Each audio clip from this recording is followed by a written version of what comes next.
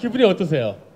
아 예, 이렇게 사실 지금 앞이 잘 안 보여서 오늘 참 예, 이제 연말인 만큼 예, 자리를 잘 지키고 가겠습니다.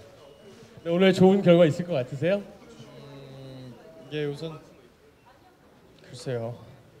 네, 좋은 결과 있었으면 좋겠습니다. 좋은 결과 기대해 보겠습니다. 김수현 씨였습니다.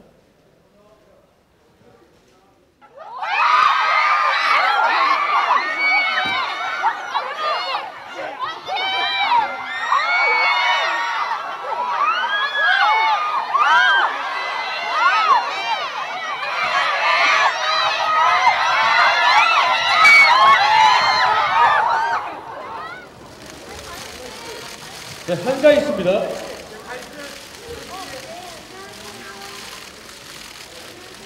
네, 네, 가운데 서주시고요. 네. 오른쪽 끝부터 찢어주시면 됩니다.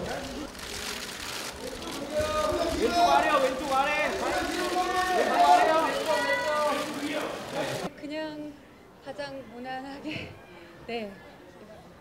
무난하게 입어도 정말 아름다우신 것 같은데 해콤달로 고생 많으셨죠?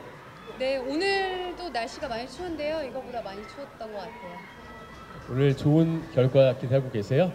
아, 아니요. 그냥 뭐 네, 재밌게 즐기러 왔습니다. 오늘 하루만큼은 충분히 즐기시고 그리고 멋진 결과 있길 기대하겠습니다. 네, 한가희 씨였습니다.